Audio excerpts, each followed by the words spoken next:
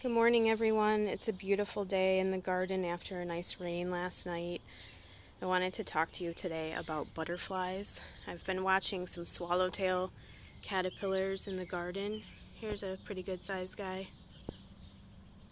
So he's snacking on some carrot tops, which is a host plant favorite of theirs, along with dill and fennel, parsley. I've never actually seen them on parsley myself, but um, those are some things that they like. And then here's another guy over here. He's kind of hiding in there. Here's some dill that I saw multiple on earlier in the season, and you can see that they've really snacked this down pretty good. Some more activity and some carrot tops over here. And then here's a very good sized one over here. I think these are so beautiful a way that you can tell the swallowtail from the monarch butterfly.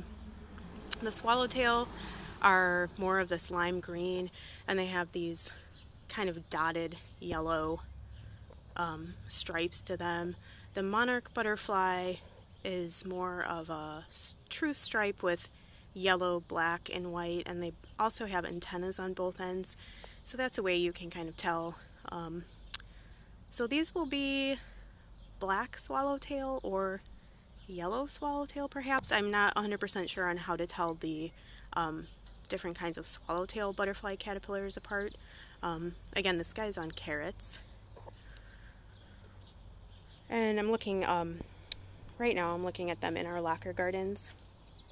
So you can register your um, garden with the North American Butterfly Association and you can also register um, as a monarch watch station. I did the certified wildlife habitat with the National Wildlife Federation because we really love all the creatures and although we have enough um, pollinator plants and milkweed and milkweed varieties, um, I wanted to register with something that encompassed a greater variety of um, our creature friends. So over here on this side of the garden we have a lot of milkweed. We have a few different varieties. Um, I haven't seen a caterpillar over here to show you. Um, but yesterday I did see my first monarch, so I was pretty excited about that. Um, I know that the caterpillars are around because you can see on this leaf here that they've been snacking. So milkweed is the host plant for monarchs, and that's why it's so important to have um, milkweed, and why that's why there's so much talk about that. Um, again, the, the swallowtail will enjoy the milkweed um, as the bees, but this is the host plant for the monarch butterfly. And as we cruise over here, I do have some more dill. They haven't done anything over here yet, so I may be able to harvest and use that. Um,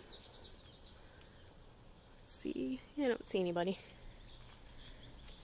And over here, I wanted to talk to you about fennel. So fennel is an amazing host plant for the swallowtail butterfly. Um, we've seen quite a bit of activity over here um, the years. This is a bronze fennel, which is different than the fennel bulb that you think of eating like in a salad or grilled or such. This has a nice bronzy tip to its foliage. Um, it's great in salads. You can make a simple syrup out of it. Um, you can dry it. Uh, the foliage is great for floral arrangements and it gets a nice yellow flower which is kind of like a dill um, looking flower. We actually use that in our wedding bouquets and also um, we dry the seed and then we use that in cooking. And let's see, I know there's a couple guys hanging on over here. Here a little bit blurry, but here's a caterpillar right here, swallowtail. And then I started looking for, once I realized what I actually needed to be looking for. See if we can find somebody. Here we go. There's a couple guys I see. Smaller. It's very blurry, sorry. There's a small caterpillar here. Maybe we can get a better view of this one. There we go. So when they're smaller, they have this look to them, black with like a white stripe. Um, and even tinier, sometimes they look like a little teeny puff. Um, oh, here's another guy right here. So we're seeing a lot of activity, um, finger for scale, dirty garden finger. Um, we're seeing a lot of activity or or maybe I'm noticing more on here as I realize what I need to be looking for. Um, let's get back here.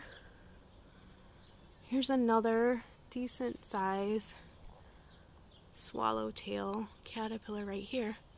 He he's having some really good snacks in there. Oops. Anyway, so we've got a number of um there's another tiny guy down here. Hey guy. So we've got a number of caterpillars in here. And um, we're happy to have some host plants for those guys. So it's really beautiful to see. Um, we've seen a couple cocoons over the years, um, and it's just beautiful to watch the process. Um, and then as they emerge and flit all around the garden, it's really, really awesome. And of course, wonderful pollinating for vegetables, um, their yield, and yeah, so that's my little tidbit on butterflies.